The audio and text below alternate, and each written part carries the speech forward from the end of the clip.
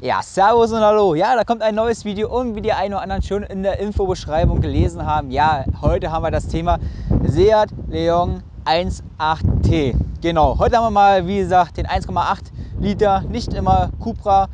Und wir wollen heute in dem 1.8T Ansaugung von HG Motorsport, die V3. Das Fahrzeug hat aktuell schon einen gewissen Stand erreicht. Er hat eine Downpipe drin von HJS eine Friedrich Motorsport Abgasanlage. Es ist ein Kombi aus 20 Zöller.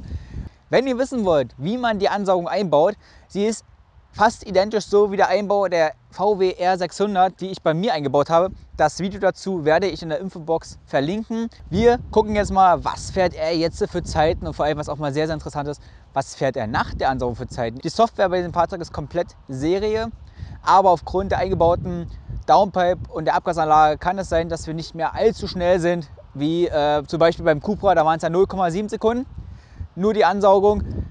Wir werden jetzt wie gesagt mal gucken, was die Ansaugung bringt und würde sagen, viel Spaß beim Video.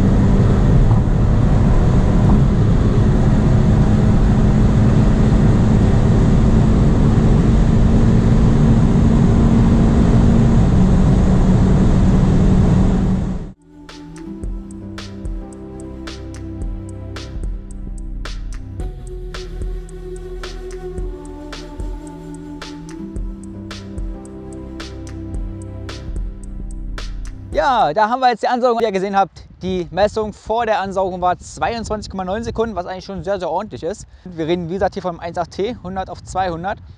Und jetzt nach der Ansaugung 22,6 Sekunden. Das sind wirklich 0,3 Sekunden. Das ist echt ordentlich, dafür, dass eigentlich an dem Auto schon so viel verbaut ist. Wir haben ja den HLS-Cut, wir haben die Auspuffanlage. Ähm, Finde ich schon sehr beachtlich. Ansauggeräusch, wie gesagt, ist auch echt geil. Kommt natürlich live besser rüber als über das Kamera Mikrofon. Aber so an sich, der Besitzer ist mit der Ansaugung echt sehr, sehr zufrieden.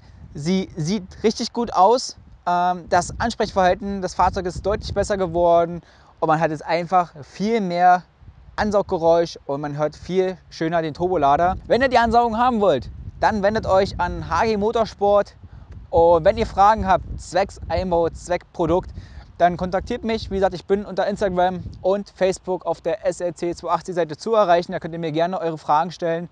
Ansonsten würde ich sagen, wünsche ich euch noch einen schönen Tag. Bis zum nächsten Mal. Macht's gut. Ciao.